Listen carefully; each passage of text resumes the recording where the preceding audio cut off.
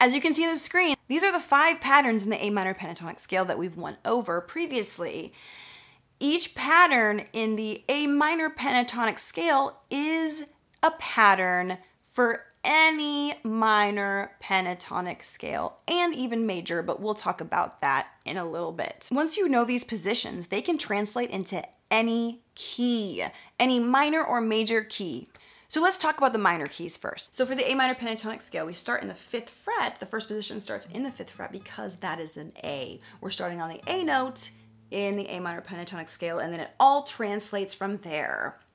Now, if you wanted to play in the key of B minor, let's say, okay, all you have to do is figure out where's the B on the sixth string. So let's figure it out, okay? So if you know your notes, we have A in the fifth fret, right? Uh, and then we go A sharp because that's in between A and B, and then then we go B. Okay, so there's a sharp or a flat in between the A and B. So you're not going to go to that sixth fret. You're going to go to that seventh fret for the B. Okay, and so it translates all the way down. We have you know E is the open note. So if you know that, you can kind of go up. If you know your notes, F, F sharp, G, G sharp, or you know A flat and stuff. A, a sharp or B flat, B on the seventh fret. So if you want to do the B minor pentatonic scale, all you have to do is shift all the positions over. And if you know all the patterns, this will be very easy. We now do position one pattern, but we started on the seventh fret. So the position one pattern for the A minor pentatonic scale started in the fifth fret, right? We, we keep going up, do, do, do, do, do.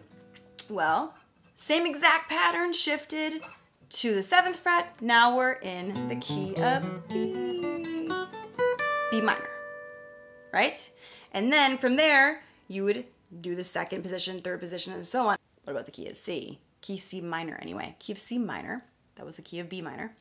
Key of C minor. Okay, well, eighth fret, C. So start position one on the eighth fret.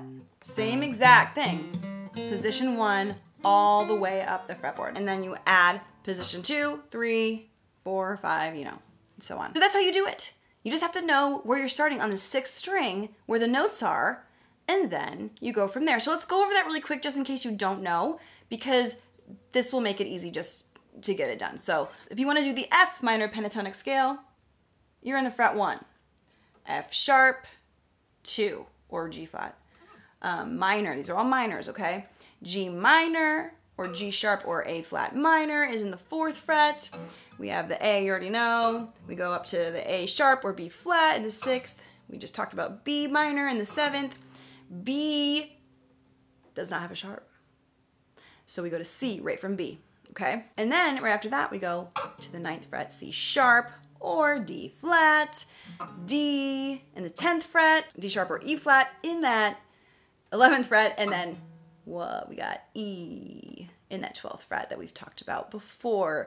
The octave of each string is the 12th fret. So E is an open E, 12th fret, E. So you can actually, the trick here is you can start the E minor pentatonic scale in the 12th fret. You totally can do that.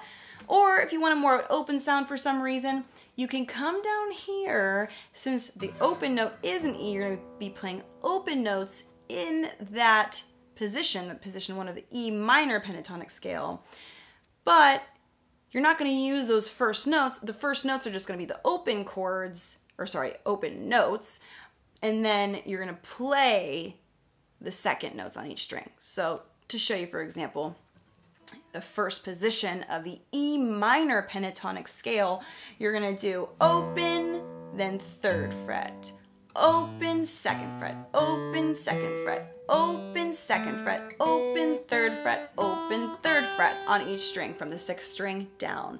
And then, you know, if you wanna go backwards, third fret, open, third fret, open, second fret, open, second fret, open, second fret, open, third fret, open. So if you wanna do that, it's kind of tricky, you know, but it's also kind of cool. All right, so that's the minor pentatonic scales, right? You can do any minor pentatonic scale now. But let's see how we do major with this. Well, if you, from previous videos or the video linked in the description, you learned with me that every minor key has a relative major and vice versa.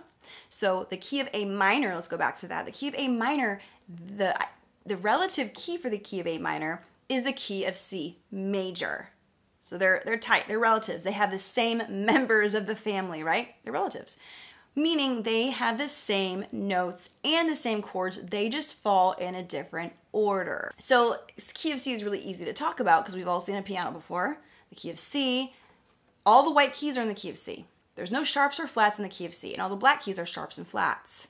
So it's really easy to look at a piano and go, I know, you know, what notes are in the key of C. But when you look at a guitar, you're like, whoa, what notes are in the key of C?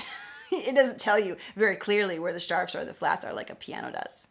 So that's why the patterns are very handy.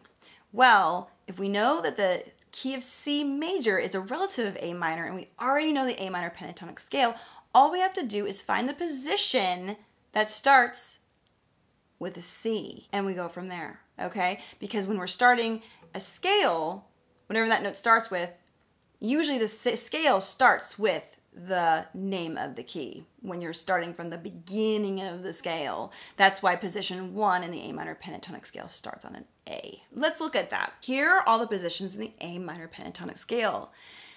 As you can see, position one starts on the A, position two starts on the C.